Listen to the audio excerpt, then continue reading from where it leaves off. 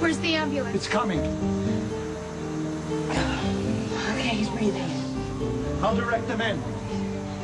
Jason, do you know where you are? AJ. What about AJ?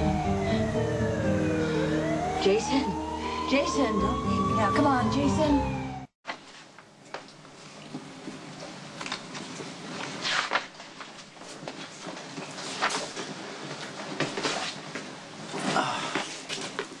Jason is suffering from a concussion. He should uh, regain consciousness in two or three hours. Well, what if he doesn't? Then I'll admit him and I'll keep him here for the night, but I don't think that's going to be necessary. This is not a replay of Jason's previous accident. But he's still unconscious. How can you know? CT scan came out normal, doesn't appear to be any brain damage at all, and there's nothing like the cognitive loss that he suffered a decade ago. You know, would it help him if I were in there with him? It's hard to tell, but I would do it. Go on in. And it's still, it's a bump. It's a bad bump on the head, but that's all it is. He may not even have to be transferred to a room. Thanks. You have to wake up, Jason. Because you have to tell me what you were trying to say about AJ. You remembered something, didn't you?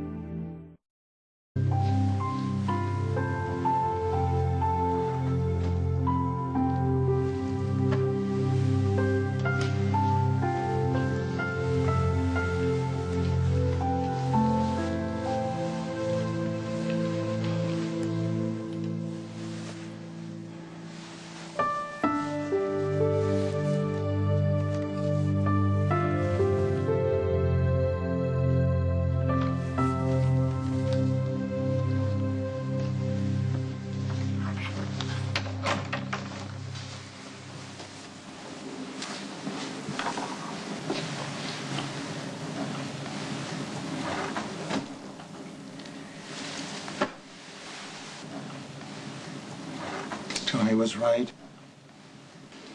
Jason will wake up in a matter of hours. It doesn't mean we're going to get him back. He will still be barely a shadow of the boy that we loved. It's a lot better than having to bury him.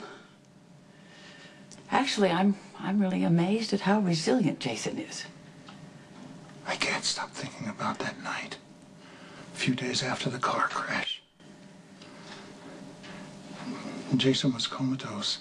None of us expected him to live. Then his heart stopped. The one the one night nobody was with him. Thank God you were there to resuscitate him. But his brain was deprived of oxygen for several minutes. We will never know the amount of damage that did. Here, now, give it back to me, No, Mom. no, It's- that's AJ's it's, handwriting. It's private. It. Please. What? This was written ten years ago.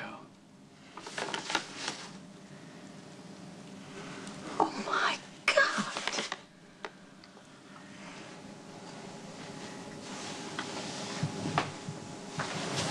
Jason had little bits of memory from right after his accident with AJ.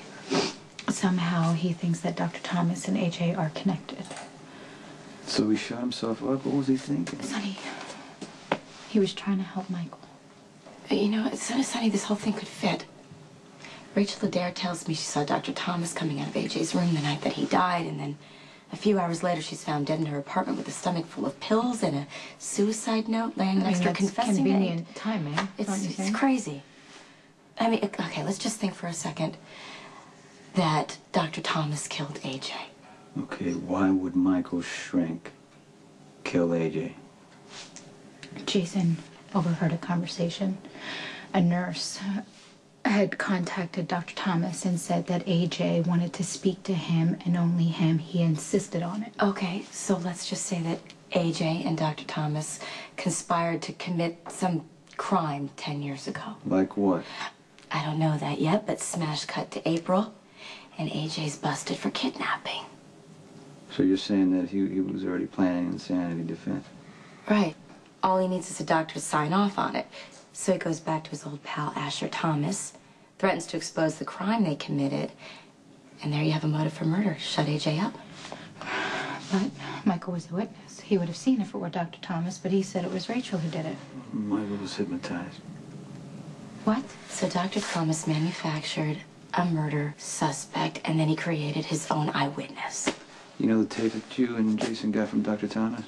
Okay, what you hear on it is like, wake up, right? Then it gets a little static, and then you hear AJ's name. It's not hard to fill in the missing pieces. Well, don't strain yourselves. Why don't you just ask me?